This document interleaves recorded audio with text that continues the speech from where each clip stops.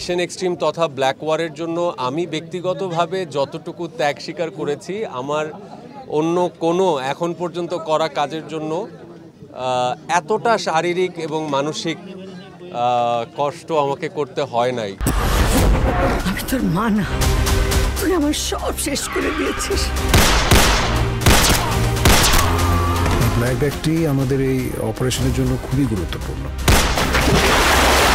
Black আমি যখন এই ক্যারেক্টারটার জন্য নিজেকে প্রিপেয়ার করি, আমার যে আমাদের পরিচালক যিনি সানি ভাইয়ের সাথে একটা কথাই হয়েছিল যে আমরা ক্যারেক্টারটাকে ফেকভাবে রিপ্রেজেন্ট করতে চাই না। সো তার সাথে বসে অনেক ব্রেইন করে আমি এই ক্যারেক্টারটাকে তৈরি করবার চেষ্টা করেছি।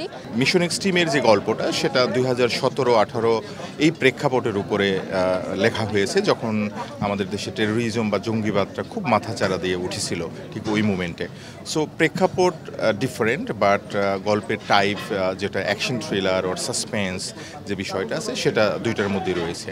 বাট আর একটু পার্থক্য যেটা, সেটা রয়েছে যে মেকিংয়ের দিক দিয়েও কিন্তু অনেক পরিবর্তন হয়, যেমন সিনেমাটোগ্রাফি কালার গ্রেডিং এবং টেকনিক্যাল আরও অনেক বিষয় আদি আছে ভিএফএক্স থেকে শুরু করে।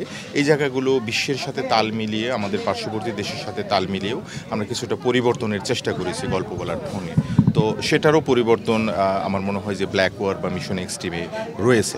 আপনারা যারা মিশন এক্সট্রিমকে এত ভালোবাসা দিয়েছেন ইরাকে এত ভালোবাসা দিয়েছেন এতটুকুই বলব যে ব্ল্যাক ওয়ারে আরও বড় ধামাকা নিয়ে আসছি আমরা। আমি নিশ্চিত সে অ্যাক্টিভ নাবিদ ইউজুয়ালি এই ব্যাগগুলোর ভেতরে তাদের অপারেশনের হাতিয়ার এগুলো থাকে। কি হয়েছে তোমার? মিশন এক্সট্রিমে বলব যে সেটাতে একটা ইন্ট্রোডাক্টরি পার্ট ছিল আমাদের টোটাল গল্পের। তো সেক্ষেত্রে একটু স্লো ছিল আমাদের গল্প বলার স্টাইলটা সেটা দরকার ছিল। বাট সেই গল্পটা যেখানে গিয়ে শেষ হয়েছে, সে জায়গাটা সাসপেন্সে ভরা।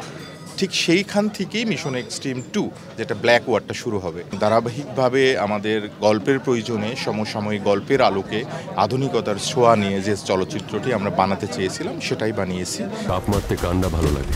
আর সেই সাপ যদি নিজের ইচ্ছেই ঘরে এসে ঢোকে তাহলে তো কথাই নেই। গত পরশু উত্তরার একটি বিশেষ অভিযান পরিচালনার সময় পালিয়ে যায় গুলশান বোম্বিং এর mastermind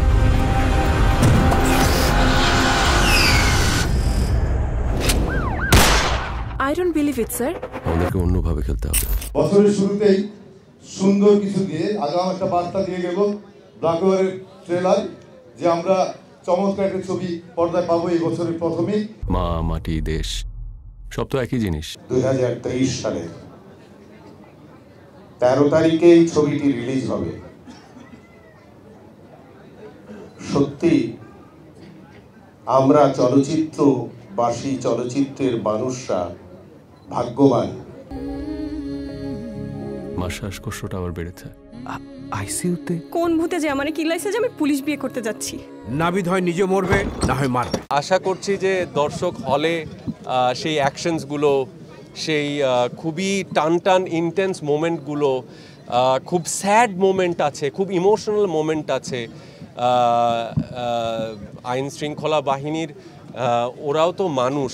সেই মানুষের জীবনটা এখানে অনেকটাই আপনারা দেখতে পাবেন আহ, শুধু এরকম না যে তারা ক্রিমিনাল ধরছে তাদের ব্যক্তি জীবনেরও অনেক কিছু আপনারা দেখতে পাবেন মিশন এক্সট্রিম ওয়ানটা আসলে বা মিশন এক্সট্রিম যেটাকে আমরা বলছি সেটা আসলে আমাদের এই যে যুদ্ধ এই যুদ্ধের শুরুটা ছিল তো ব্ল্যাক ওয়ারে এটা অনেক বিশাল আকারে আপনাদের সামনে আসছে আমার কিছু জিনিস লাগবে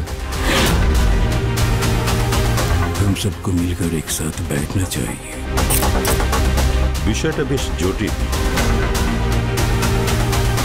বিকল্প কোনো ব্যবস্থা ভাবুন।